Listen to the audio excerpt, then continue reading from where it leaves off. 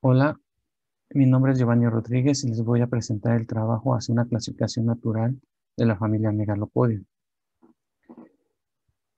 Para empezar, tenemos que el clado fitófaga es el grupo, un grupo muy diverso dentro de Coleoptera. Alberga cerca del 40% de las especies de este orden. El 99% de sus especies se alimentan de, de, angiospermas o, bueno, en otras palabras, eh, de plantas con flores. Este clado se encuentra integrado por la superfamilia Curculonoidea y Crisomeloidea.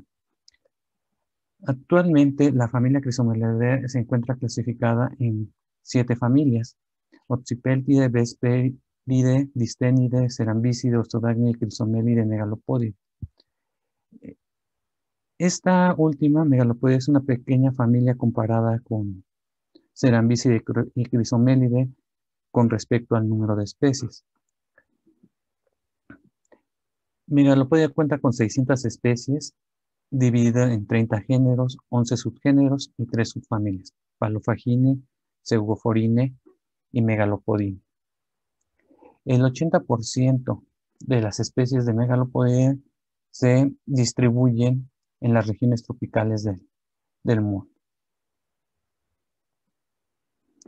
Cada uno de los integrantes de las, de familias de megalopodia presenta un hábito alimenticio en particular. Los palofagines se alimentan del polen de las araucarias. Los pseudoforinos, tanto adultos como larvas, son minadores de hojas. Y eh, los integrantes de la subfamilia megalopodine se alimentan de los pequeños tallos de las plantas. Tenemos que la sistemática de Megalopodia no se conoce de manera adecuada, a pesar de ser un grupo pequeño de escarabajos fitófagos. La mayor parte del conocimiento que se tiene de los megalopodios proviene de las descripciones originales de las especies.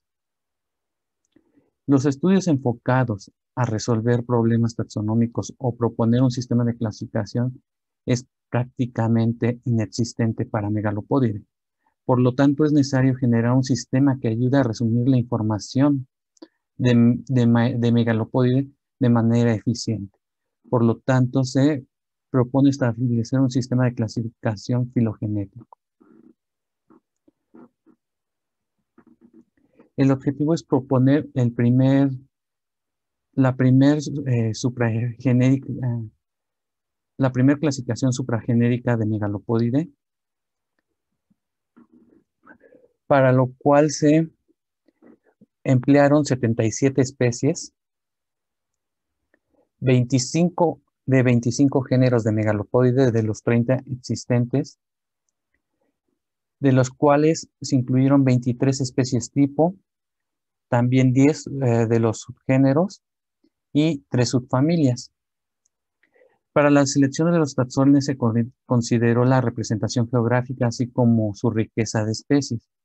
Además, como grupo de externo, se incluyó Antrivide, un integrante de la familia Antrivide que pertenece a la superfamilia Curculionoidea. Además, también 12 taxones de la superfamilia Crisomeloidea distintos a Megalopodium. Para realizar el análisis cladístico, se recopiló información morfológica de Megalopodide, la cual fue compilada en WinCloud. El, análisis de parsimonia se llevó a cabo en, el programa TNT mediante pesos implicados. El valor de K se obtuvo mediante el script setk y la búsqueda se realizó mediante los algoritmos de nueva tecnología eh, implementados en TNT. Como resultado se eh, obtuvieron 145 caracteres, 39 de la cabeza, 75 del tórax y 31 del abdomen. En estos del abdomen incluyen tanto genitales masculinos como femeninos. Como resultado se obtuvo dos árboles igualmente parsimoniosos, los cuales eh, para lo cual se realizó un árbol de consenso estricto el cual tuvo una longitud de 1147 pasos, donde se obtuvo que Megalopodide es un grupo monofilético. Sin embargo, no así la subfamilia Megalopodine, debido a, a que eh, resultó como un grupo polifilético. Podemos ver aquí donde Ateledera signoideos tradicionalmente ha sido incluido en Megalopodine. Por lo tanto, el concepto de megalopodina es modificado al excluir el género, ateledera. Las relaciones de megalopodia quedan establecidas de la siguiente manera. Palofagine como el grupo hermano tanto de ateledera, Ceugofora y megalopodine. Y ateledera, grupo hermano de Ceugoforine y megalopodine, resultando como grupos hermanos Ceugofora y megalopodine. a partir de los resultados obtenidos, trae consigo implicaciones taxonómicas, ya que ocho de los géneros no monotípicos, ocho de los 17 géneros no monotípicos resultaron como no monofiléticos. Por ejemplo, el caso de Poesilomorfa, que quedó ampliamente representado en diferentes clados tanto aquí como acá. Cabe destacar que en, en este sitio, bueno, en esta parte, se encuentra la especie tipo, ah, pues el Morfa passerine sería la especie tipo del género. De igual manera, el género Tenaspis también eh, resultó representado en diferentes clados. En este, en este clado es donde se ubica la especie tipo. También el género Megalopus y, bueno, Botromegalopus resultó parafilético con respecto a Megalopus, por lo que es necesario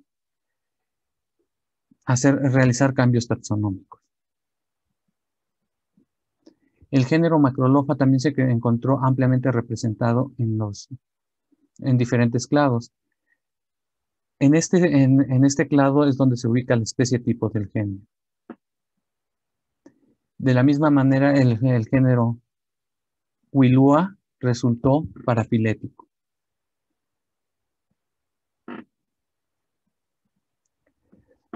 Y el género Antonoria polifilético.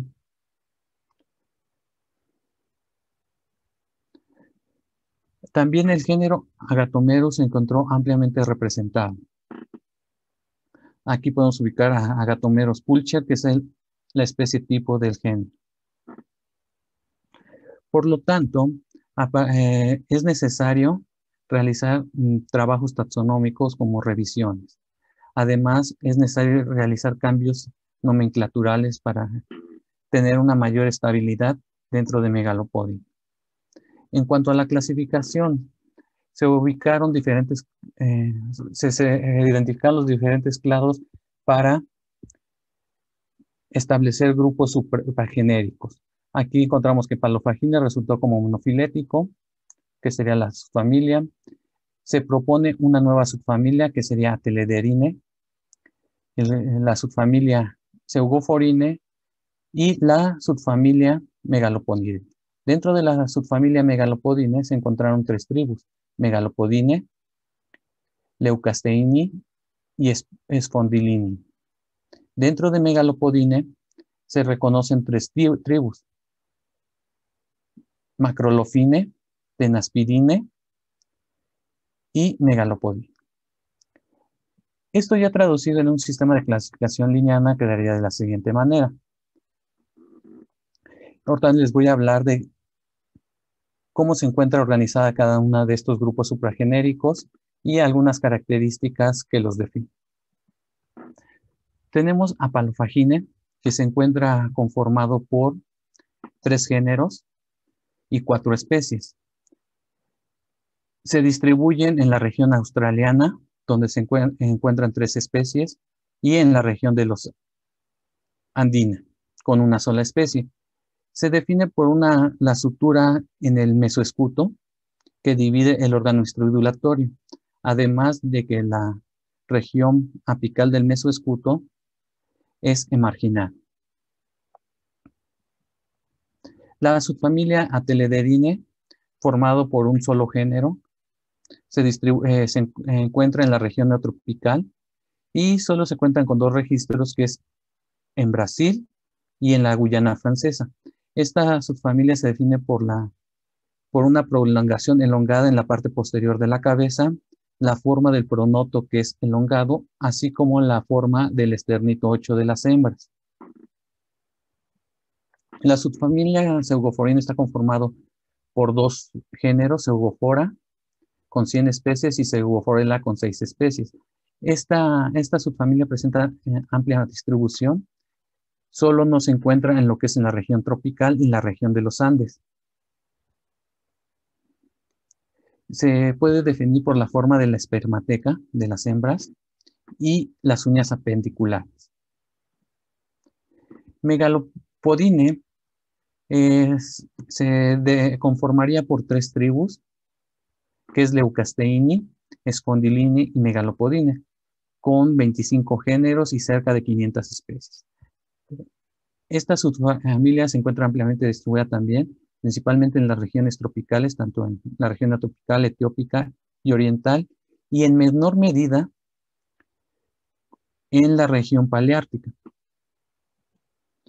La tribu Leucasteini se encuentra conformado por dos géneros y cerca de 30 especies.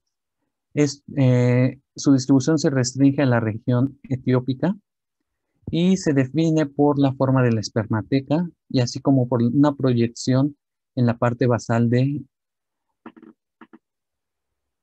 del pronoto. El Sondilini está conformado por, por ocho géneros restringidos a la región etiópica y se puede definir por la eh, la antena corta que no sobrepasa más allá del, de la base del pronoto, así también la forma particular de la espermateca y que no presentan una prolongación en el,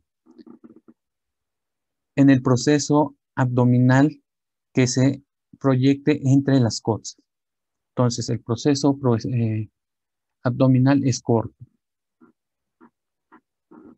La subfamilia Megalopodini se encuentra conformada por tres subtribus o dividida en tres eh, subtribus, macrolofina, tenaspidina, megalopodina, distribuidos tanto en la región etiópica, oriental, paleártica y oriental.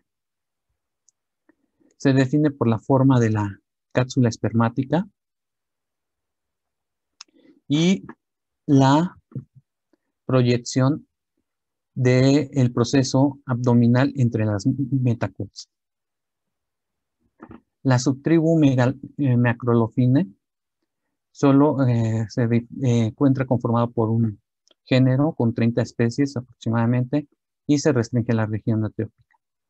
Entonces, este género, esta tribu, subtribu, perdón, se define por una proyección dirigida hacia la parte posterior de el pronoto. Además también que presentan una lígula no dividida. La subtribu tenaspirina está conformado por tres subgéneros, por tres géneros con cerca de 100 especies, distribuida en la región etiópica, oriental y en menor medida en la región paleártica. Se puede definir por la forma del tegmen de los machos, que es trapezoidal, y unas muescas en la parte posterior del mesoescuto.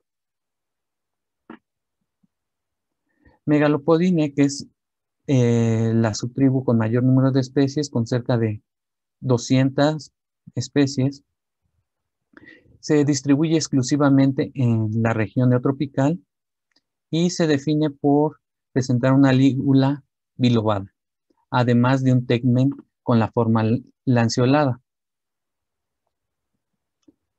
Cabe destacar que, bueno, lo que menciona son algunas de las características que definen a los, a los diferentes grupos. Entonces, como conclusión, a partir de la información empleada, se proponen nuevos taxones supraespecíficos. Además, el muestreo de taxones utilizados y los resultados obtenidos nos, proporciona un punto de partida para seleccionar taxones que requieren revisiones taxonómicas. También hay que tener en cuenta que las clasificaciones biológicas sirven como un sistema de referencia general, por lo tanto, deben de tener estabilidad, ser, tener robustez, ser predictibles y por lo tanto ser informativos, que esto solo se logra cuando la clasificación es natural. Gracias.